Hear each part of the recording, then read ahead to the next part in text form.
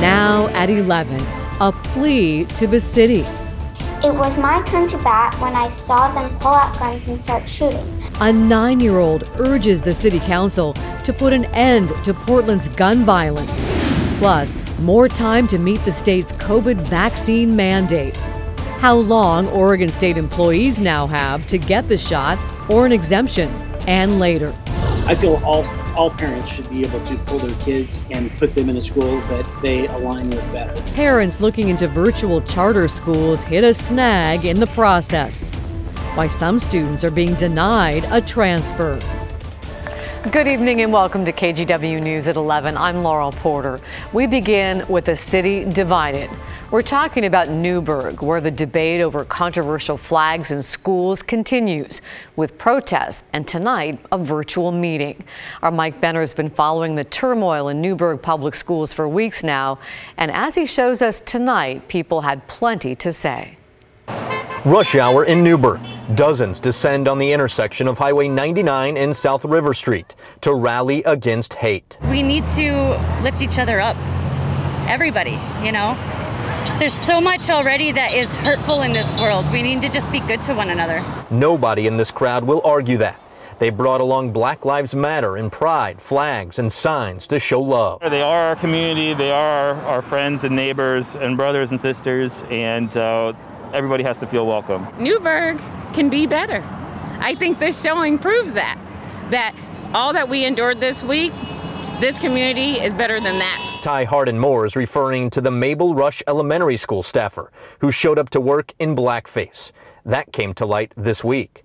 Last week, we learned that some Newberg High School students participated in a Snapchat group chat called Slave Trade, where they joked about buying black classmates. And earlier this summer, a school board director suggested banning BLM and pride symbols in district buildings, a policy that has since been altered to images that depict support or opposition relating to a political, quasi political, or controversial topic. Schools should be places of learning, not ideological petri dishes for indoctrination. At a virtual public meeting Wednesday night, facilitated by the Oregon School Boards Association, plenty of people voiced their support for banning what are believed to be political symbols in the classroom. While some students may feel validated by the presence of a political agenda in the classroom, there will always be others who are marginalized by that agenda. We cannot allow our school system to normalize the marginalization of groups of children. We heard from others who are disgusted by the actions of the board members who want these symbols to disappear. The consequences of your actions will be on your hands. The blood of my peers will be on your hands. BLM and pride flags create a safe environment for students and make them feel like valued members of our community. A sentiment echoed by those who gathered in downtown Newberg Wednesday evening. The fear amongst this crowd, though, is this. I think it'll get worse before it gets better, but it has to get better. Other, I mean, how long can any community tolerate this kind of division? You know, it just kind of self-destructs. Clearly, Newberg is a city divided. We can tell you that the school board will meet again early next week, and we'll, of course, stay on top of the story. I'm Mike Benner for KGW News. A nine year old Portland girl urged city leaders to do more to stop gun violence. She told the mayor and city council members about playing with her dad and brother at Rose City Park back on July 3rd when suddenly a group of people started shooting. The family ran for a nearby shed. We ducked behind it for less than two seconds, and as I was getting up to run farther away, a bullet shot about four to five feet to my right. Portland police report 912 shooting incidents so far this year in the city. A group of faith community leaders has launched a program they hope will guide the mayor and others to stop the gun violence. And this comes as Portland is going through a violent stretch. Police say on Tuesday they responded to seven shootings on one day, the first at 2 in the morning, the last at 6.50 in the evening. Six of the shootings you can see here marked on this map. They happened throughout northeast and southeast Portland. Two of the shootings in northeast Portland were just a few blocks apart. A seventh shooting isn't on the map because police say the victim was uncooperative and they don't know where it happened. Some shootings resulted in injuries, in others, nobody was hurt. Police don't have any reports of deaths. To the pandemic, more than half of Oregon state employees now have an extra six weeks to meet the state's COVID vaccine mandate. The deadline has been pushed back to November 30th for those represented by Service Employees International Union 503. This covers about 24,000 employees out of 42,000. The October 18th deadline still applies to teachers and healthcare workers. Also, although those state union workers may now have more time to get the shot, they still have to follow the mandate just as before. Today, Governor Kate Brown honored Washington County, Oregon's very first county to hit the 80% vaccination rate. Catherine Cook joined her in Forest Grove tonight, where county officials shared how they did it. The Forest Grove Farmers Market draws hundreds of people every week. It's one reason Washington County picked it to host one of their weekly vaccination clinics. An example of the county's community collaboration the governor came to praise. Hi. Congratulations to the first county that made it to 80%. Oregon Governor Kate Brown congratulating Washington County Chair Kathryn Harrington on a major public health milestone. Washington County hit the 80% vaccination mark earlier this month. Partnerships are really what helps our community members. On this day, one of the county's most popular vaccination clinics is in full swing. Hosted by nonprofit partner Adelante Mujeres, it offers patients a special incentive a $50 gift certificate to the Forest Grove Farmers Market happening right outside. It's a place where many here feel safe it's more than just providing vaccines, right? It's providing people with education and information, it's answering questions.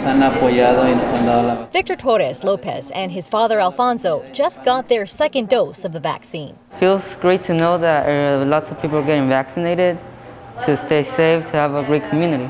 Victor's father tells us, Yes, I've been trying to get people at work to get the vaccine here at Adelante Mujeres. That way, they can be more secure.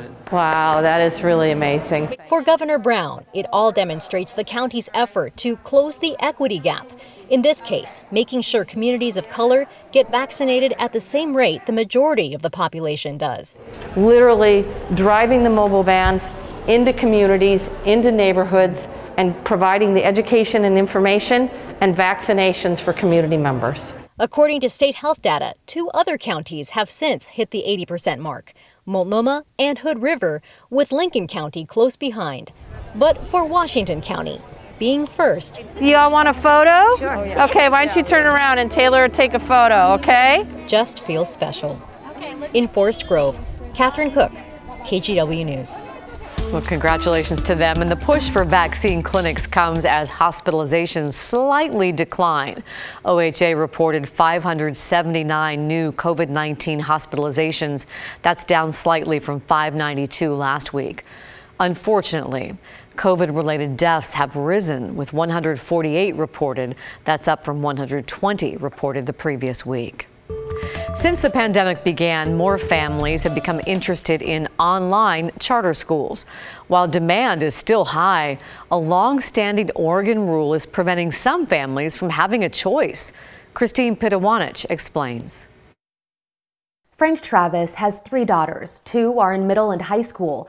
This year, he wanted to put them in an online charter school. Uh, the things that I really like is they have very targeted programs um, you know, math where they'd actually teach you personal finance, balancing the checkbook, doing your taxes. But when he put in his request to his daughter's school district, he says he was denied. They were very direct in basically telling me that they're not going to let my kids go. It was it was like they're a number and they need to keep their numbers.